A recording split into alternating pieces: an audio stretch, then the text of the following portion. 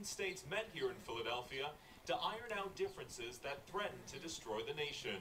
And when the Constitutional Convention hit a perilous deadlock, it was Benjamin Franklin who stood up and said, God governs in the affairs of men. Is it probable that an empire can rise without his aid? Mr. Franklin took a deep and abiding interest in the affairs of faith. And we bow before your throne, O God. It's not an accident that they signed the Declaration of Independence in Philadelphia. It was the fastest growing city in North America because of its religious diversity. In fact, another little history lesson here. St. Mary's Catholic Church, founded in 1763 here on 4th and Locust, was the site of the first public religious commemoration of the Declaration of Independence. As Americans, most of us believe that there is a higher power, and when we are in prayer, we want that higher power to help us discern that meaning.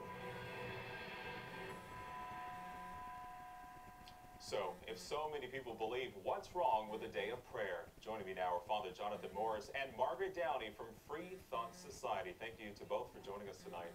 Thanks for having us. Father Morris, I want to start with you. You say the National Day of Prayer isn't about religion. What is it about? That's exactly right, Thomas. It certainly is not about the government promoting one religious denomination or one religion over another. The government is not supposed to do that. It's supposed to be protecting the free exercise of religion, however.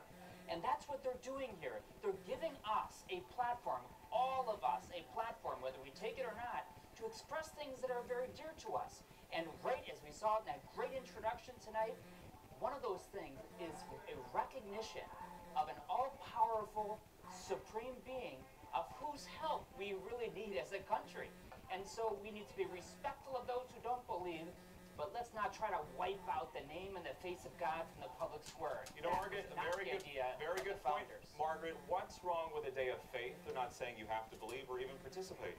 Look, I have no problem if there wants to there, there is a um, piety parade. Just don't ask Congress to carry the parade banner, and don't ask our president to be the grand marshal of that parade.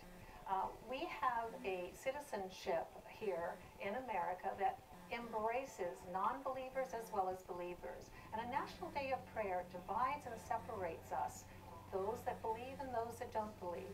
There's nothing wrong with prayer.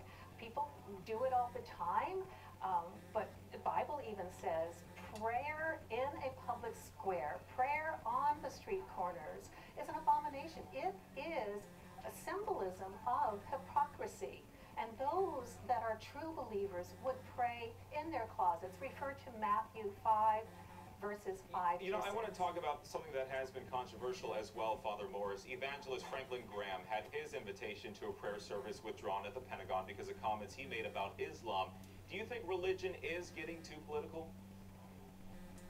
As long as there are human beings involved in religion, it's always going to be a little bit off because religion is man, man and woman's expression of spirituality, of faith. Let me say that that edition of the Bible that Margaret mentioned, I've never heard of it before, that translation. But let me say that without a doubt, a day of national prayer is an invitation to those who would like to be part of it. But nobody should be forced to, and thank God the government is not forcing anyone. If the National Day of Prayer is somehow dividing us, this National Day of Reason that some of these atheist groups have put on for today, talk about divisive. Margaret, there are dozens of national holidays. Not everyone participates in them all. Why can't people who just don't believe go on with their day? The problem is government endorsement. Government giving a um, entanglement of religion and government is harmful to all citizens of the United States. Our Constitution protects all of us. And when the government declares a national day of prayer, they're actually showing favoritism. We really don't want that to continue.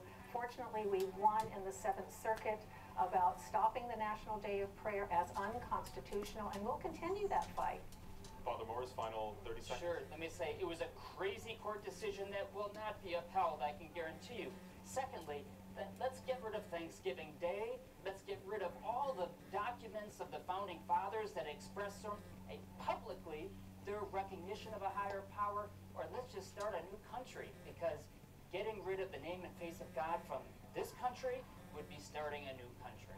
Shaking your head, Margaret. Final 10 seconds. I'll give to you. No, we love this country. We love the diversity. We want to see all citizens happily participating in all events. Um, we just don't want the government to endorse religion or a national day of prayer. And let's all try to find the things that we have in common.